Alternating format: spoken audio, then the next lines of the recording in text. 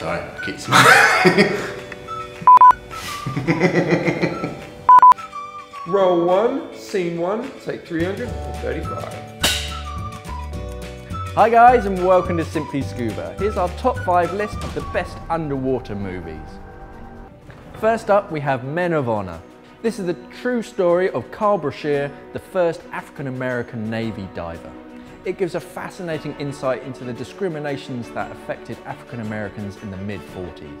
It is of course inspired by the true life of Carl Brashear, who had to overcome the prejudice of his Master Chief. Starring Academy Award winners Cuba Gooding Jr. and Robert De Niro, they both give stellar performances in this film. Next up, we have a true classic. It's Disney's classic 20,000 Leagues Under the Sea, which is based on the book by Jules Verne of the same name. The story follows a ship that's been sent to investigate mysterious sinkings but encounters an advanced submarine that's commanded by Captain Nemo. Although the book has been adapted numerous times over the years, the 54 Disney version is held up by many as the definitive version. People will always remember the impressive battle with the squid, divers exploring the bottom of the ocean, and the impressive submarine. Now we have The Abyss. This is the 1989 film where a team of divers are sent to find a lost submarine but end up encountering alien life.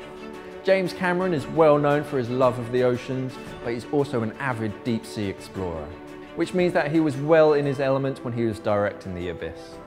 In its day, it was one of the most expensive films ever made because of the amount of underwater filming. Cameron wanted to make the film feel as realistic as possible, so most of the underwater film sequences were filmed at depths of up to 40 feet.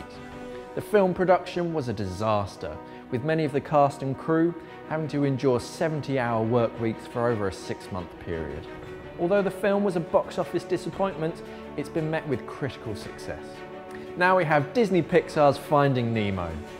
The story follows a clownfish buddied up with a forgetful fish Dory searching for his lost son in the open oceans.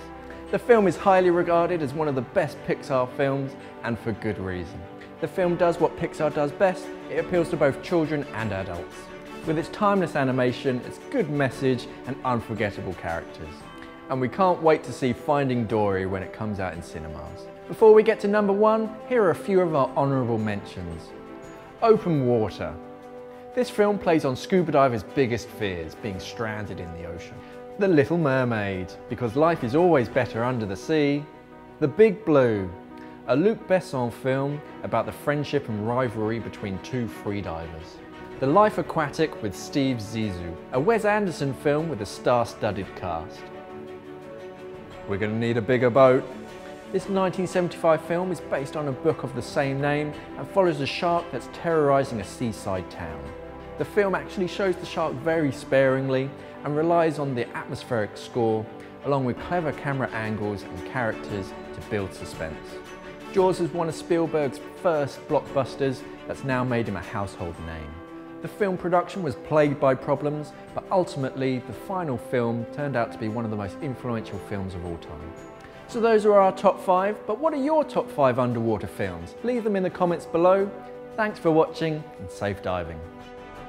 If you like the video, give it a thumbs up, click on our subscribe button, and if you want to see more content, just click on the links over here.